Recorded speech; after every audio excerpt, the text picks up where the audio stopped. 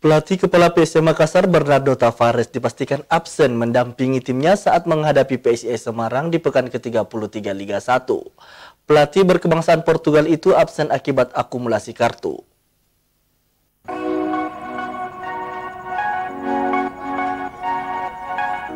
PSM Makassar akan melawan PSIS Semarang pada lanjutan pekan ke-33 Liga 1 di Stadion Jatidiri Semarang Kamis malam. Meski telah memastikan gelar juara, PSM ingin tetap maksimal di laga tersebut karena merupakan pertandingan kandang terakhir mereka di Liga 1 musim ini.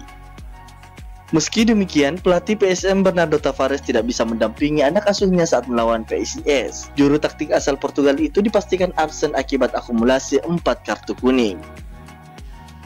Tanpa Tavares, pasukan Ramang diharapkan bisa tetap maksimal. William Pluim dan kawan-kawan bertekad mengakhiri musim ini dengan raihan poin sebanyak mungkin. PSM Makassar berpeluang finish dengan perolehan 78 poin jika berhasil menyapu bersih dua laga tersisa dengan kemenangan termasuk pertandingan tandang melawan PSIS Semarang. Wahyu Saputra, Selebes TV.